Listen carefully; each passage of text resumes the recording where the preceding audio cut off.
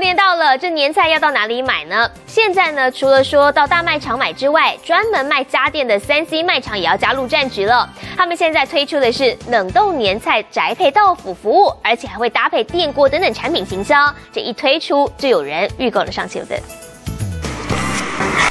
年终到了，很多人来三 C 卖场买家电，但是现在竟然连年菜都能预购。冷冻年菜就大辣辣的和电器商品摆一块，看起来有点突兀，但这是三 C 卖场新花样，不止卖你电锅，还要连年菜一起赚。没有看过三 C 卖场卖年菜，那会想要买吗？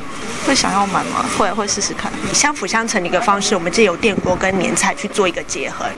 就是搭配电锅料理一起行销，三星卖场抢进年菜市场，推出佛跳墙等七道菜，开放预购马上突破千份销量。不止如此，也推年节礼盒，完全颠覆一般人对三星卖场的想象。